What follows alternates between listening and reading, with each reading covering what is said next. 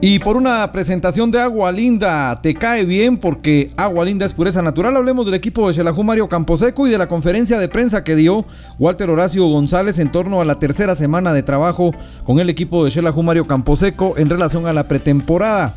Ya se sabe de que el próximo miércoles habrá juego internacional en el Mario Camposeco, el próximo miércoles 10 de julio Habrán partidos de preparación aún por parte del equipo de Shela frente a Chuapa y dos más que se tienen pendientes ahí previo al inicio del torneo. Gracias a Agua Linda, escuchemos la conferencia de prensa con el técnico Walter Horacio González. Decíamos, yo creo que entramos a la etapa 2 de la preparación del equipo, ya hoy más contacto con el balón, ya más la idea de lo que queremos ver del equipo.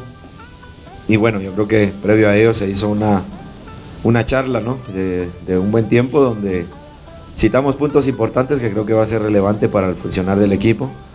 El compromiso que también tenemos es importante también recalcarlo, pero creo que van a ser de ahora en adelante mucho las prácticas de esta manera, ¿verdad? Mucho, mucho balón, mucho eh, fútbol.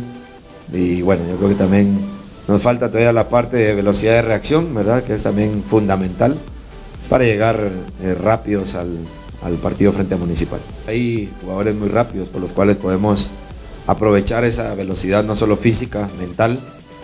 Te diste cuenta al inicio de la práctica, bueno, el equipo se encontró bien y después creo que en general eh, el grupo obviamente ya resiente las cargas físicas y creo que es normal, como se lo decía yo a ellos, por eso las otras etapas que nos faltan en trabajar es lo que nos va a terminar de dar a nosotros pues la soltura y lo que nosotros queremos, ya jugadores en corto, creo yo, más, buscar un poquito más eh, esa velocidad. Tenemos un equipo serio y eso lo platicaba yo con ellos. Yo sé que muchas veces los marcadores eh, tan abultados da a entender de que no existió un rival o algo así, pero a mí me gusta siempre las cosas con seriedad, porque he tenido otros grupos donde haces cuatro o cinco goles, ya empiezan a faltarle el respeto al rival, o ya no toman las cosas como son, como trabajo.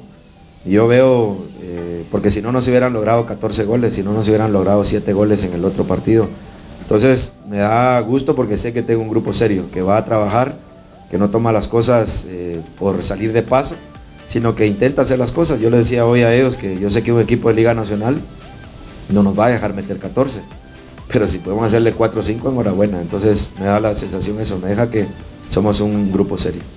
Nombro a esos cuatro capitanes también para el reglamento interno que tenemos nosotros como equipo, de las llegadas tarde, de la, gente que obviamente falte un entrenamiento, de, las multas, ¿verdad? Que sean ellos los que pongan los, precios de multas y les decía yo, pero que sean precios que verdaderamente se sientan, porque 100, 200, 500 quetzales cualquiera los, los paga para poder venir tarde.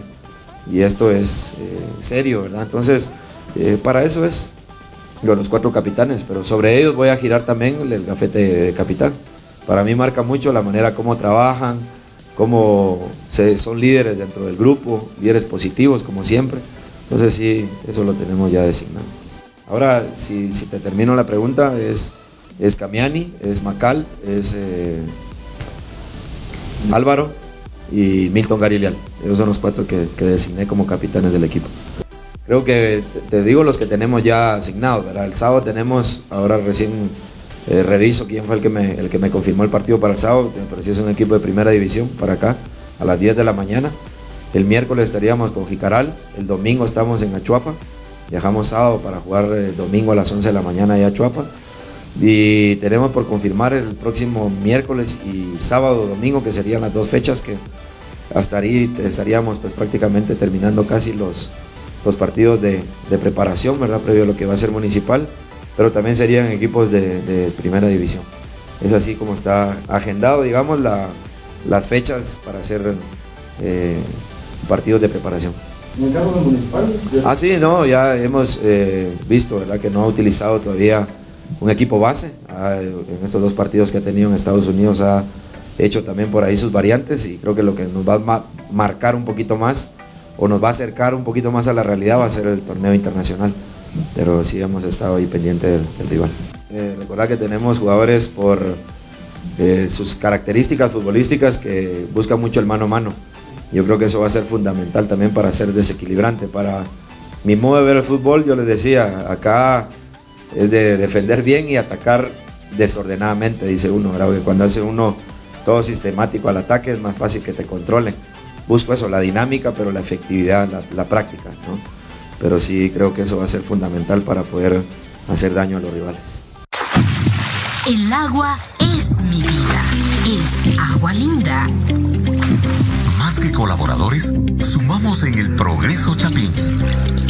Más que estudiosos, somos el futuro de nuestra Guate linda. Más que chamusqueros, somos un equipo. Somos la generación de likes. Más que agua pura, somos agua linda. Agua linda.